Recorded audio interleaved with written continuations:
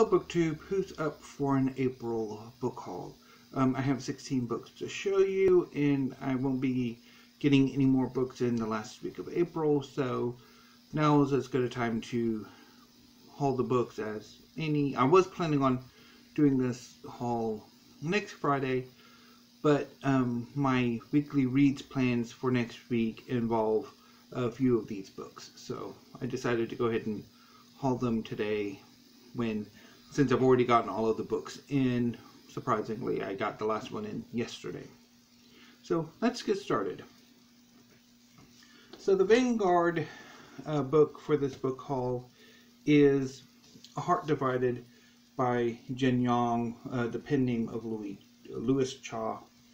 Um, this is the concluding volume in the Legends of the Condor Heroes novel. Um, the Legend of the Condor Heroes is a massive, I mean, it's for four volumes of um, epic um, historical fantasy set during the waning decades of the Southern Song Dynasty before the Mongolian conquest. The novel uh, follows the adventures of Guo Jing, a the son of a Song patriot who was raised in Mongolia as a sort of foster son of uh, Genghis Khan. And the Legends of the Condor Heroes details his uh, adventures in the Wulin, the martial artist community of uh, Jin and Song China during his late teens. His conflict with um, the Jin, particularly his uh, revenge against Wanyan Honglie, his complicated relationship with his blood brother Yang Kang, his uh, relationship with Lotus Huang, and his adventures and conflict with uh, various patriotic and less than patriotic uh, martial artists throughout the Wulin. Um, I've read the first three volumes of the novel earlier this year um, Hero Born, Bond Undone, A Snake Lies Waiting, and looking forward to uh, finishing up the novel in May. And hopefully, the other two novels in the Condor Heroes trilogy will be uh, translated in the coming years. I need to look and see if um, whatever the first part of the Return of the Condor Heroes or The Romance of the Condor Heroes is going to be out because I really love that one too. Um, well, I haven't read it, but I've watched some clips on YouTube of it and quite enjoyed it. Anyway, so next up, in the only other novel I'm hauling this month, and with some trepidation, is uh, First Become Ashes by K.M. Szpara. Um, this is the Szpara's a sophomore novel. Um, his first book came out last year, Docile. Um, and this one is very similar, I think. Um, Zappara has a certain sort of kinks he likes to write about. And in this novel, which is a kind of contemporary fantasy, it posits that um, magic, or this cult, uh, posits that magic is only possible through great suffering. And so this cult basically cultivates suffering as an attempt to cultivate magic. And when the members of this cult reach a certain age, they are sent on a quest to slay a monster. And obviously, since it's set in the real world, magic isn't real. Or is it? And uh, I do have some trepidations about this novel, um, as I do with Docile. Um, I mean, Szpara is, has a very sort of dedicated, like there's a kink that he's writing. Although I think this one's not as prominent as Docile was. But I have heard, I've watched um, a very negative review that I thought was really quite good, so I'm kind of worried. But it might be a while before I get around to this. Um, have a docile on the docket for uh, June. So we shall see whether or not I like it or not. I mean, I do rather like Dennis Cooper. So there's, who knows. Um, anyway, so the next six novels, um, six novels. So the next six books are uh, poet poetry collections. Um, so the first two I picked up from Midtown Scholar uh, through Alibris. Um, I've mentioned several times that I've gotten interested in university press sales. And one of the university presses that's currently having a sale is the University of Chicago. So when I first started looking at the University of Chicago's website to see what they have, um, I mean, the sells basically through a catalog. And then I was as interested in some of the poetry and fiction on that they offer as I was some of the history, which was in the catalog.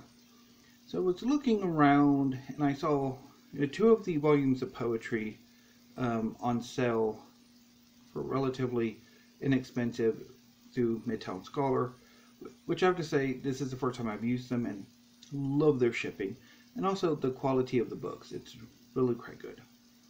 So the first book or first collection I picked up from them is uh, Troy Unincorporated by Francesca Abbate.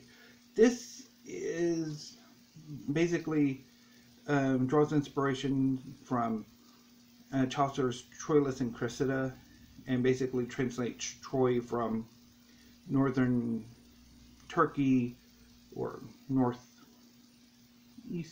no, western Turkey to Michigan. Um, and so, and I've dipped into it and I've quite enjoyed what I've read so far. So I'm really looking forward to reading the whole of Troy and, and Incorporated. And I also picked up The Lions by Peter Campion. Um, this came out in 2009, I think, and I really enjoy what I've read so far of it. And I'm looking forward to getting more into it. Um, I also read um, he also has a more recent collection that came out just this year that I'm really interested in too, and will probably pick up if I have time. Um, the next four I bought as one order through Alibris itself.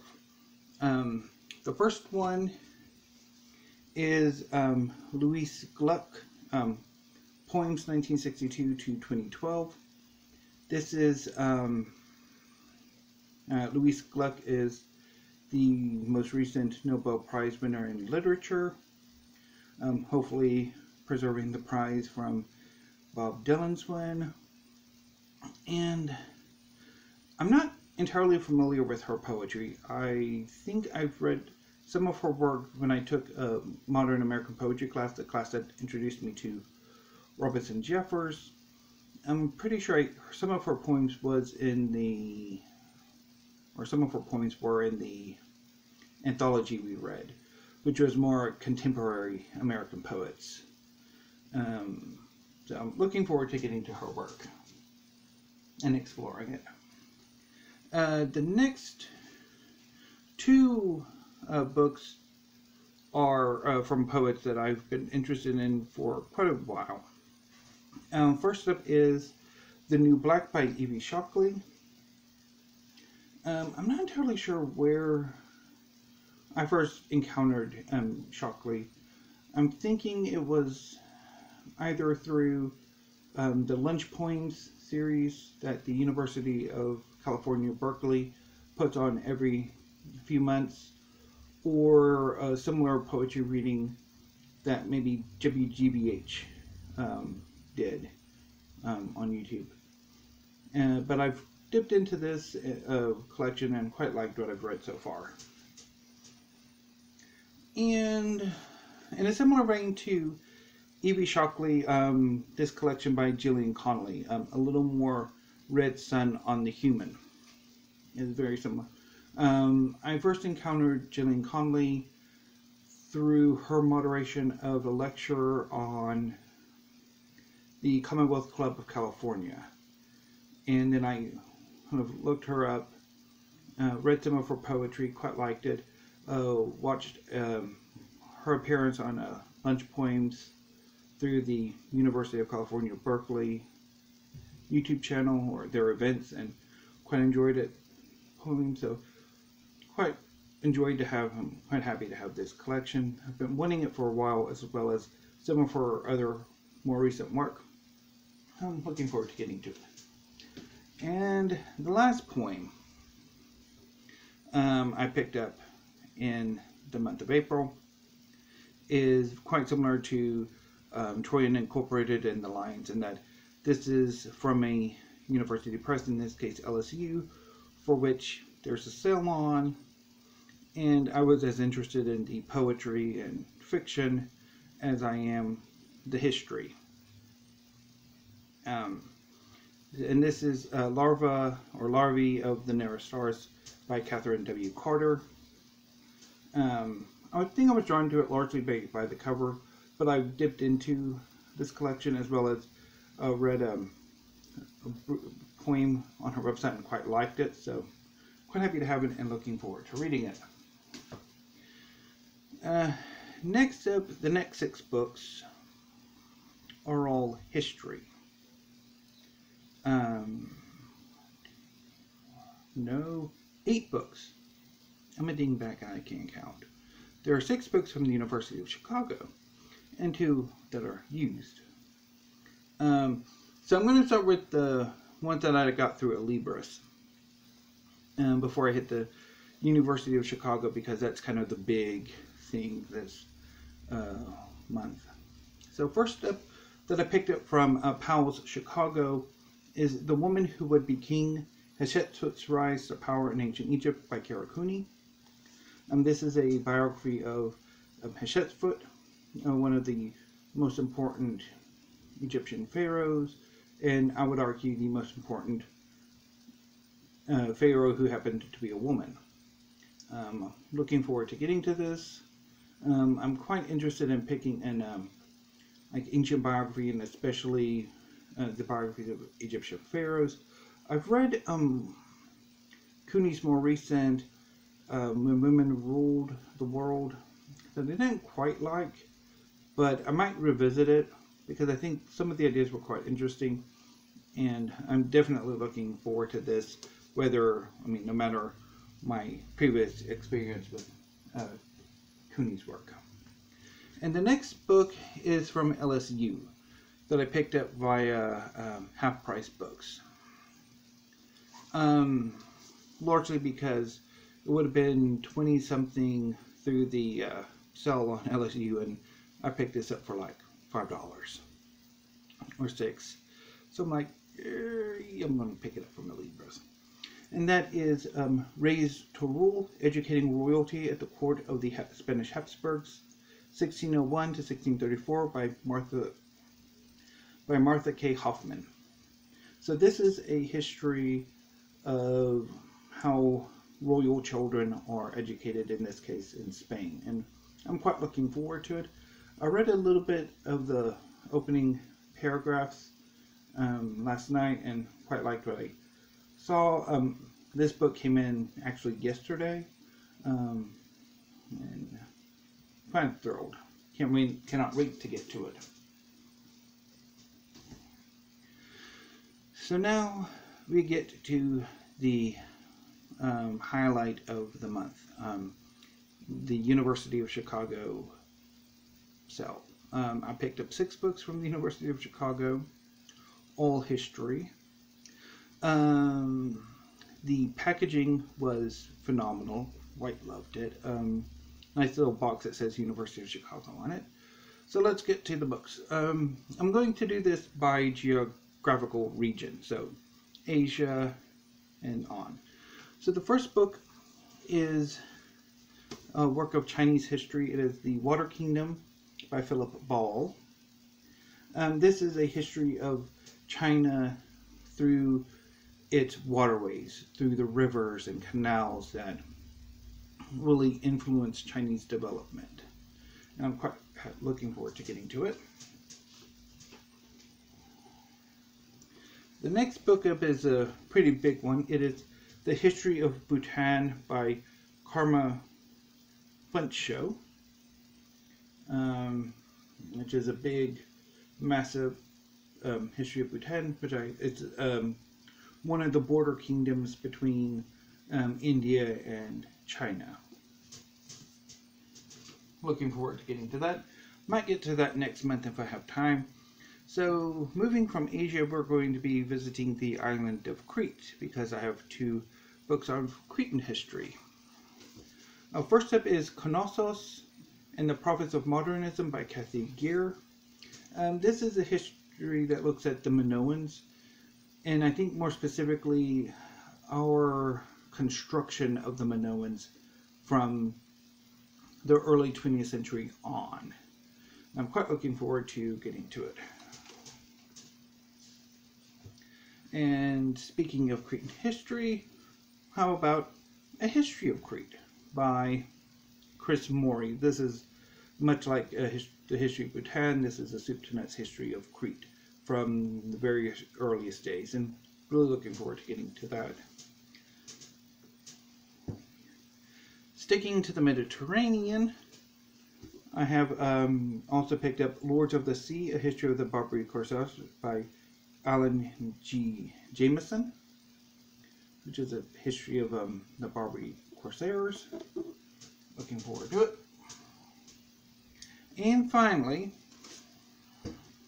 uh, moving to Northern Europe, a revolt in the Netherlands, the 80 Years' War, 1560 to 1648, by Anton van der Lem, mm, which looks at the uh, war for Dutch independence, I think, and quite looking forward to this. I have a sweet tooth or sweet for um, Dutch history.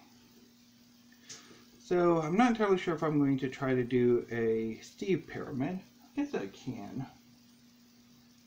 Yeah, let's try a Steve pyramid real quick.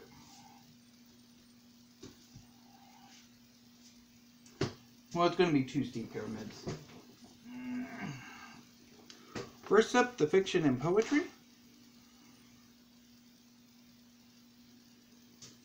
And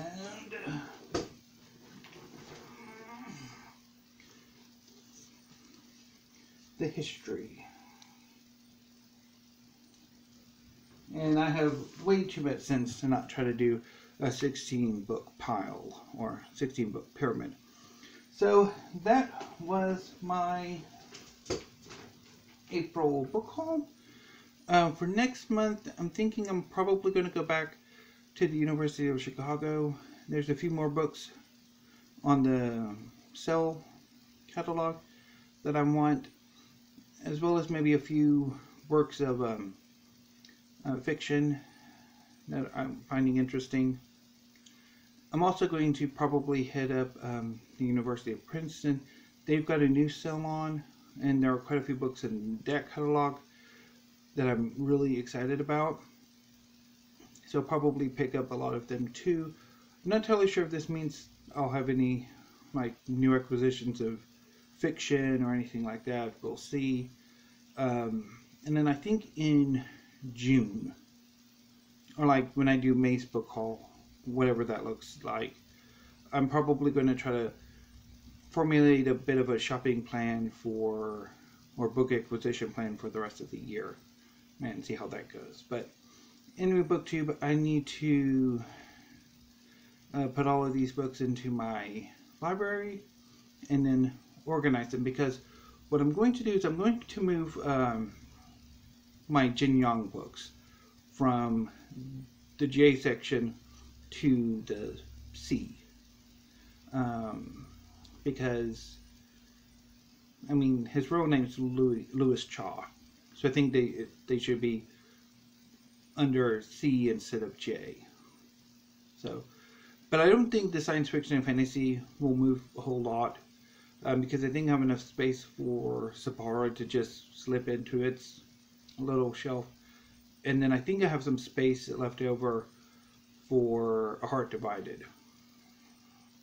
And then, of course, I don't really bother too much with the poetries, how that's organized. And the histories are chaotic. glorious, chaotic mess, and I kind of like it like that. I don't know why. It's like I have the science fiction and fantasy and the literary fiction, general fiction, whatever you want to call this fiction over here, in alphabetical order, but I don't have the history. It's in a glorious mess. Although I guess that's maybe more to do with um, like fitting the books into place rather than alphabet alphabetizing them and having to knock some of those books over when they don't quite fit into the shelves because my shelves aren't necessarily equal in size. Some are larger, some are smaller. So anyway, I'm starting to ramble, so I'll go ahead and get to work on cataloging and placing, and I will see you later this evening with weekly reads, which includes two bells and might be a bit contentious and ranty. We shall see. There's still plenty of time left for reading, so until tonight or this evening, thank you, BookTube. Have a great afternoon and stay safe.